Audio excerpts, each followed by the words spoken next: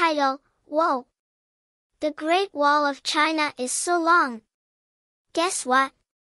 The Great Wall of China is one of the longest walls ever built.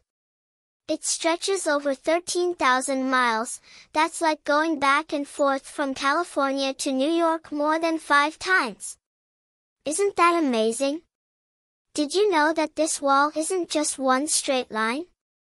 It wiggles and zigzags all over the mountains like a really long, twisty dragon. Some parts are even steep enough for a fun slide, well, if you were allowed.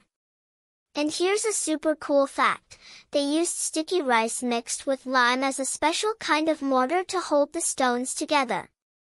It's like making a giant sandwich with glue made of rice porridge. But, get this.